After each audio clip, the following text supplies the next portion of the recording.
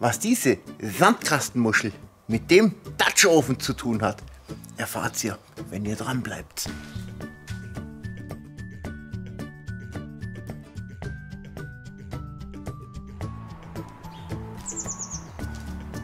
Hey ho, heute die absolut ultimative Dutch-Ofenreinigung. Ja, und wie machen wir das? Einmal eine Sandkastenmuschel, den Dutch Ofen und den Rest hole ich jetzt hierher.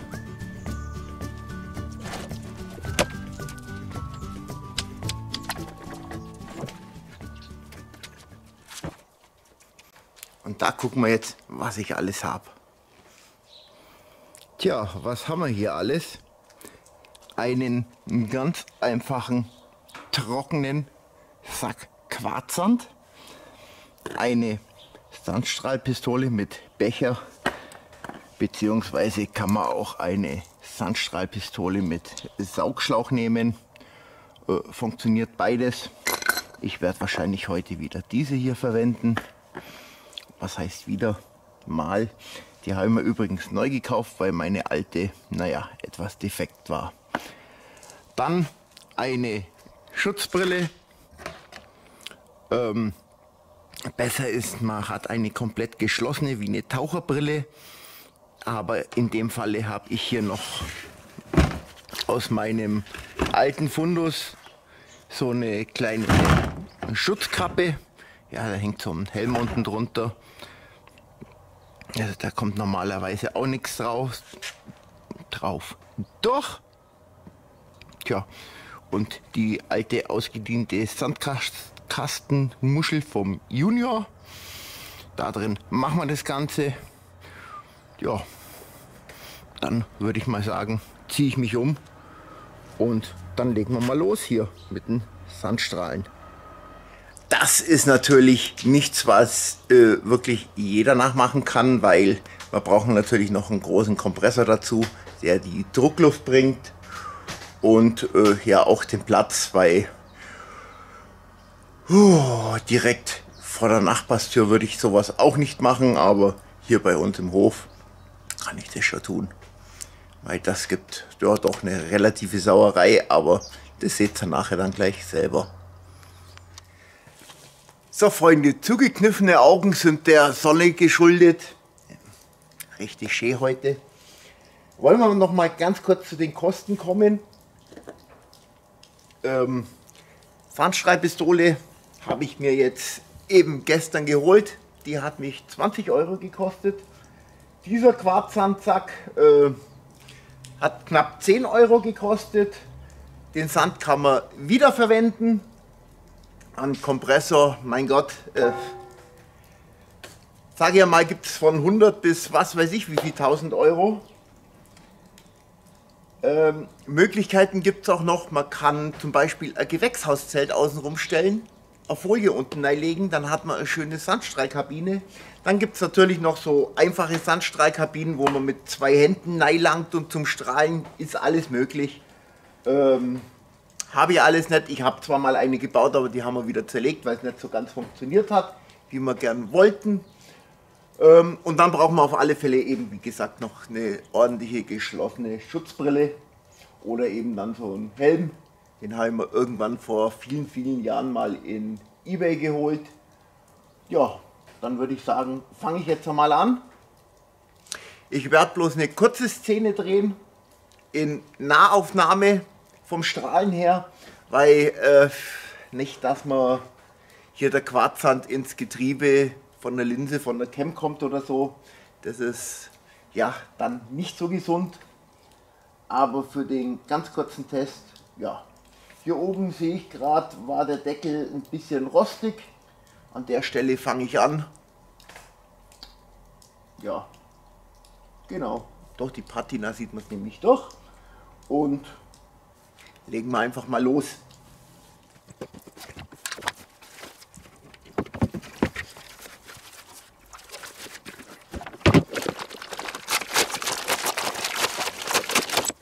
Die Heulsusen unter euch, wo schreiben, oh, man kann das doch mit dem Topf nicht machen. Ähm, doch, sehr wohl, weil im Normalfalle das äh, Gussmaterial wird eigentlich gar nicht angreifen, bis so geringfügig, dass das absolut gar keine Rolle spielt. Und deswegen bin ich da absolut schmerzfrei. Ich mache mal jetzt die Hände mit dem Deckel nicht dreckig. Ich habe den Topf übrigens nicht einmal mehr sauber gemacht. So.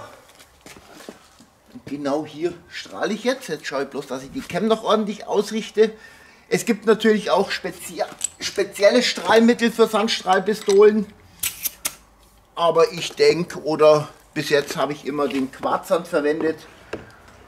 Ja, das ist die günstigste Alternative und hat immer hervorragende Ergebnisse gebracht.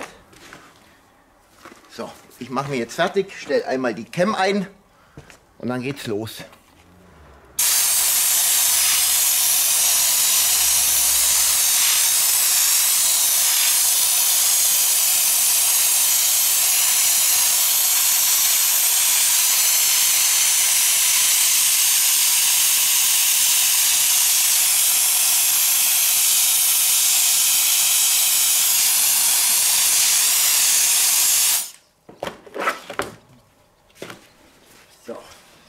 So, ich bin jetzt bloß in, äh, in Schatten gegangen, damit ich auch was am Display sehe. So Leute, hier habe ich jetzt schon mal gestrahlt und man sieht, es ist das blanke Metall. Der Rostfleck, was drauf war, ist komplett weg. Und so werde ich jetzt den kompletten Topf strahlen. Und ja, ich glaube, ich lasse die Cam dabei lieber aus und ja, bevor man da wirklich Sand reinkommt, das ist mir jetzt lieber. Ich werde euch nachher definitiv das Ergebnis zeigen. Und vielleicht einmal dann noch aus Entfernung, wie ich da hantiere. Ne, das filme ich auf alle Fälle aus Entfernung nochmal. Ja, aber ich mache jetzt erst einmal den Deckel komplett fertig.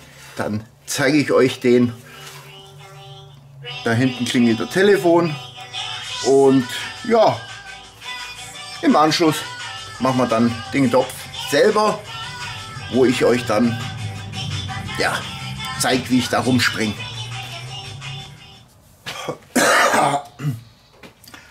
Also Leute, eine Schweinearbeit ist es.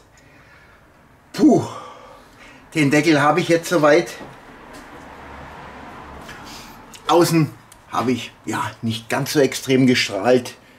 Äh, wie gesagt, Außenseite, innen bin ich soweit auch zufrieden.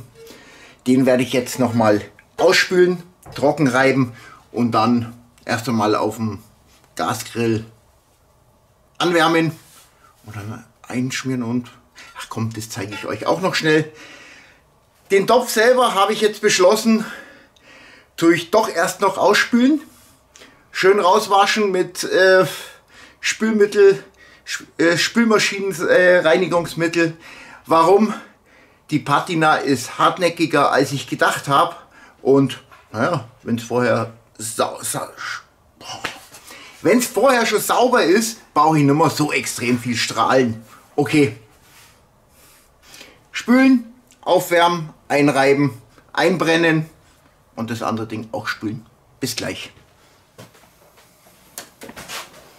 Deckel liegt drauf zum Anwärmen, zum Trocknen. Den habe ich eben gerade noch mal ausgespült. Schatzi meinte gerade, ähm, das Strahlen hätte ich mal sparen können. Äh, Spülmaschine hätte es genauso sauber gemacht. Ich sage nein. Ähm, ja, als Beweis habe ich sie den Rost am Deckel suchen lassen, hat sie nicht gefunden. Äh, ja, durch Strahlen weggegangen. Aber sauber wird es durch die Spülmaschine auf alle Fälle und es ist danach die Reste zum Rausstrahlen auf alle Fälle wesentlich einfacher. Ja, nur so, meines Erachtens nach, kriegt man wirklich Poren tief rein. Nicht einmal mit einem Stahlschwamm, weil äh, ich glaube nicht, dass der wirklich bis in die Poren reingeht. Ja, auf alle Fälle lassen wir den jetzt kurz... Heute habe ich es wieder, die ganze Woche schon. Ähm, lassen wir den jetzt ein bisschen anwärmen und dann tun wir den gleich mit der Petromax Einbrennpaste einreiben Und dann sauber einbrennen. Genau.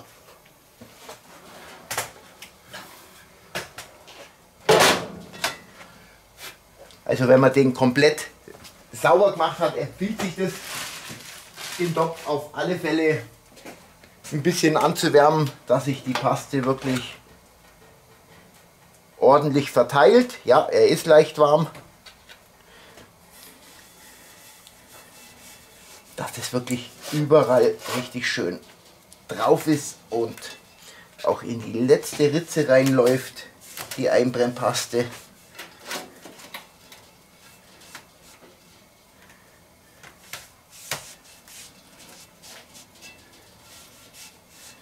Aber ihr wisst ja, wir machen das ja sowieso zweimal. Mindestens. So einer Hardcore-Aktion würde ich schon fast sagen, sollte man das dreimal machen. Aber das werden wir nachher dann gleich sehen. So, und ich denke, für die nächste Runde werde ich mal den Topfdeckelhalter von Pedro Max holen. Da wird der Topfdeckel ziemlich heiß sein. Kreuzblutige Hennerkäpf. 5 Minuten Flasche leer. Ach, das regt wieder schon wieder auf.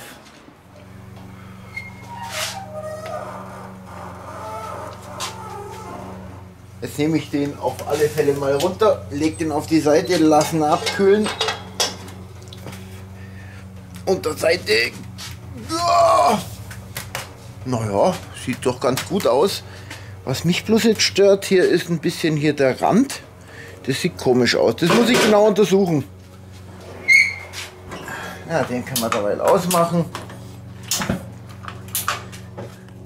Aber das muss ich jetzt genau angucken, was das ist. Puh, Leute, waren da noch leichte Reste vorhanden. Das sieht mir fast danach aus. Dann schrubbe ich das noch mal schnell mit der Stahlwolle ab, wenn der kalt ist und gut ist. Aber das sieht mir fast noch nach Resten aus, wo er nicht ganz sauber war. Naja, auch so kann es laufen.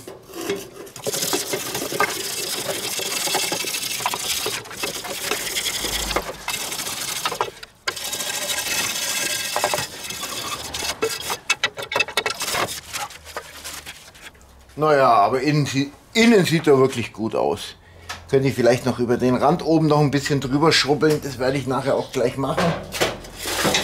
Aber ansonsten, ja, dann machen wir halt das Frustige hier jetzt noch weg.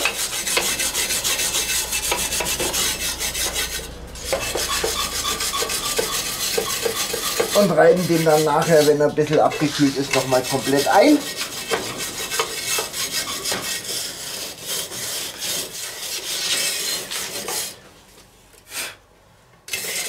Ja.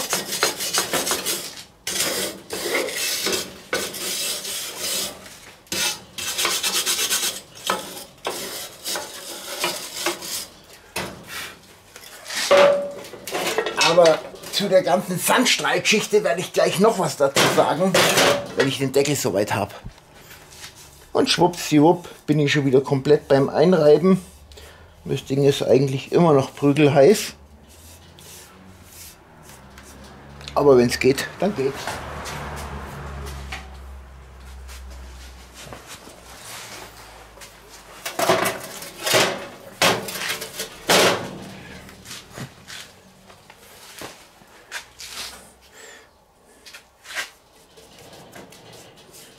Warum habe ich eigentlich den Grill ausgemacht? Für zwei Minuten hätte ich ihn auch anlassen können, aber egal. Der ist gleich wieder angefeuert. Tja, Freunde, dann können wir auch schon die zweite Runde starten. Ab auf den Grill. Zweite Runde habe ich jetzt bloß mal die äußeren Brenner angemacht. Mal gucken, wie der Deckel dann wird.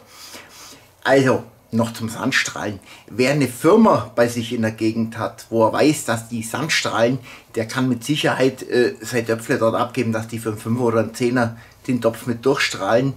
Ähm, ich habe früher in Kaufbeuren in der Firma gewusst, aber da jetzt extra 100 Kilometer zu fahren, ist mir definitiv zu weit.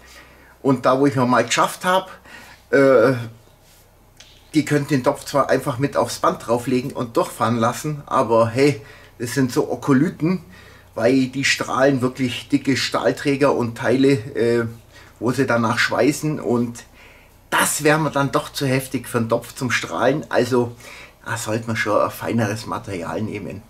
Okay, ich brenne jetzt den Deckel ja soweit ein. Also ich denke wirklich, dass ich das auf dreimal mache. Und wenn der dann endgültig fertig ist, zeige ich euch den natürlich. Ja, und äh, der Topf ist in der Spülmaschine. So Leute, äh, mein Deckel liegt jetzt zum dritten Mal äh, frisch eingesalbt auf dem Gasgrill. Und Eingesalbt? Ja. und ey Leute, ich muss sagen, leck mich am Arsch, dass der Topf so aus der Spülmaschine rauskommt. Hätte ich jetzt nicht gedacht. Was sich da im Laufe der Jahre alles angesammelt hat, das ist schon der Hammer. Ähm, also von außen, man sieht schon. Und von innen. Also es ist schon heftig, aber das Ganze war eben unter der Patina versteckt. Und ja, auf alle Fälle, der wird jetzt nochmal ordentlich gestrahlt. Da hinten, oh, dazu muss ich mich ja wieder umziehen. Und ja, danach werde ich den einbrennen. Genau.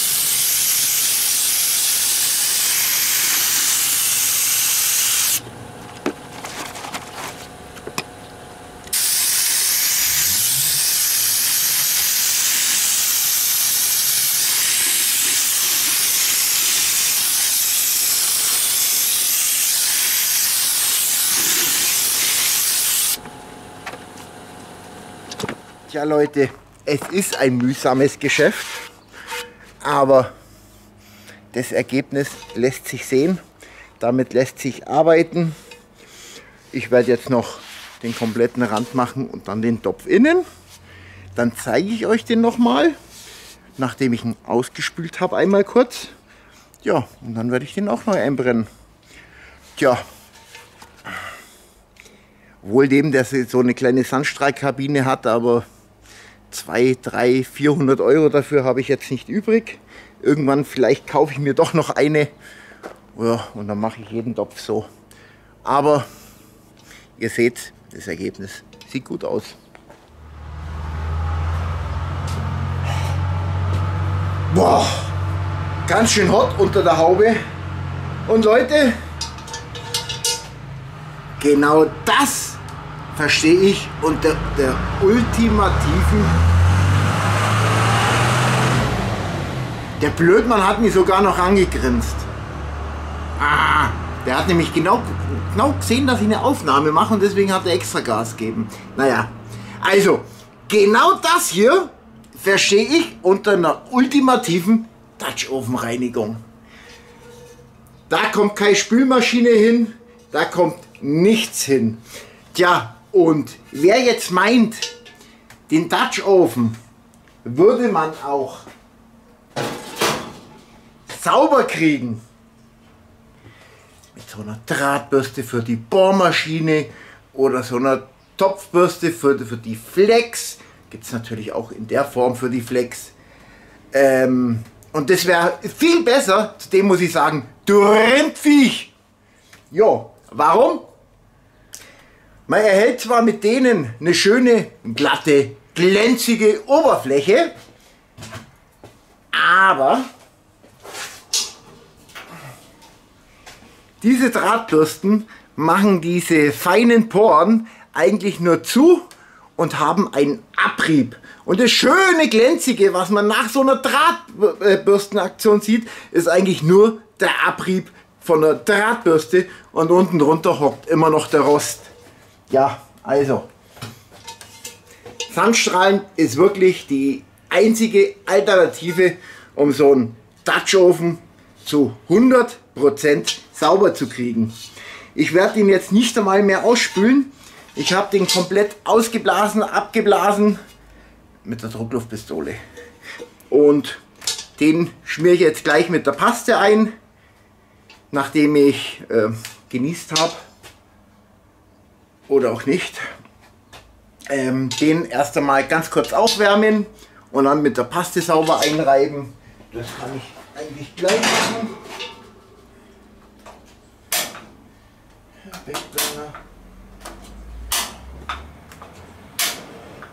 Also ganz kurz aufwärmen und Leute. So sieht der Deckel aus. Der sieht doch aus wie neu, würde ich mal behaupten. Ähm, die Ränder, was ich vorher da oben drin gehabt habe, ich vermute, dass da noch etwas von dem Sand hängen geblieben ist, was noch etwas feucht war. Und deswegen sah das so komisch aus. Also das ist jetzt meine Vermutung. Ja, den werde ich jetzt auch noch mal einbalsamieren und dann kann der schon auf die Seite.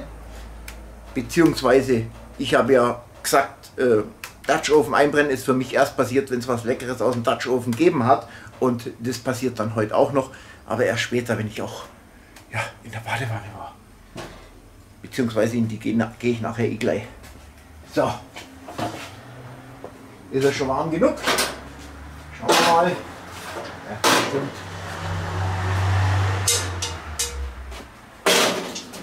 Ja, das reicht schon aus.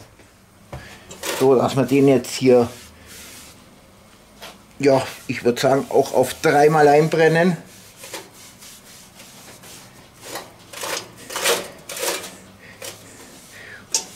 Und Leute, was mache ich heute Abend in den Dutch Ofen? Irgendwas Leckeres mit Hackfleisch. Aber das ist dann ja das nächste Video.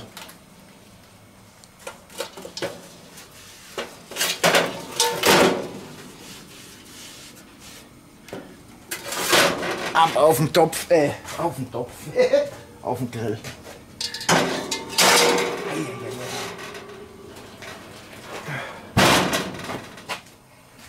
Tja Leute, und während jetzt da der Topf so vor sich hinschmurgelt, werde ich mich jetzt schön in die Badewanne begeben mit einem geilen Badezusatz, der heißt Karibiktraum, wo noch richtig geil unterstützt wird durch den ganzen Sand. Okay, wir sehen uns dann, wenn der Topf ähm, zwei oder dreimal eben eingebrannt wurde, dann zeige ich euch den nochmal und beende dann somit nachher dann das Video. Bis gleich. Leute, ich sag's euch, so ein Karibik-Badefeeling ist echt geil. Glaubt's ihr nicht?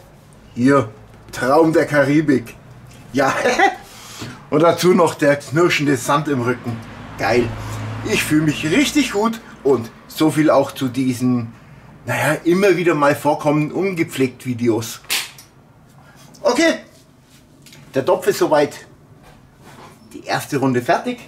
Ich lasse ihn jetzt ein bisschen abkühlen. Danach tue ich nochmal einbalsamieren mit einem frischen Schwamm, weil ich habe nämlich festgestellt, dass der Schwamm zum Fusseln anfängt. Äh, Schatz hat gesagt, der ist verbraucht, da ist es normal, also frischer Schwamm, einbalsamieren nachher, wenn er ein bisschen abgekühlt ist und dann noch zweimal. Und dann können wir heute Abend lecker, lecker topfen.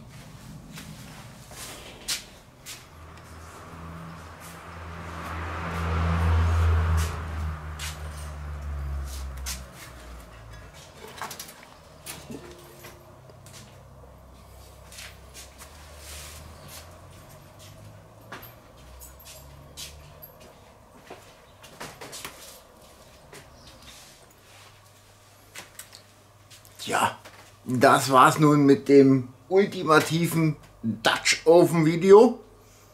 Dutch Oven Reinigungsvideo. Fazit dazu. Erst in die Spülmaschine, dann Sandstrahlen, dann neu einbrennen. Definitiv das nächste Mal von Haus aus so. Der Dutch Oven sieht aus wie neu. Er ist porentief rein. Er hat keine Rostrückstände mehr unten drunter unter der Patina. Und ich hoffe mal, das bleibt so die nächste Zeit. Die nächsten Jahre. Schauen wir mal. Aber ich habe ja noch ein paar andere Dutch Öfen.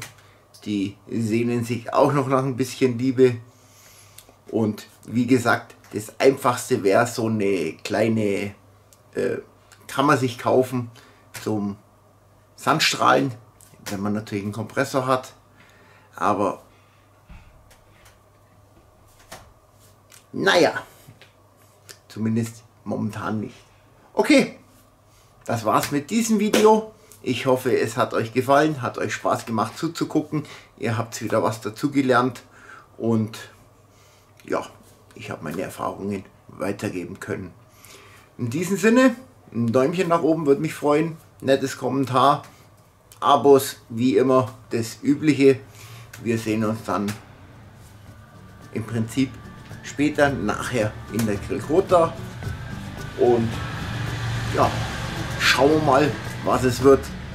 Ich habe bis jetzt noch keinen Plan, was ich in den Dutch Ofen mache, außer dass es was mit Hackfleisch wird. Leute, wir sehen uns. Tchaikovsky. Bis dann.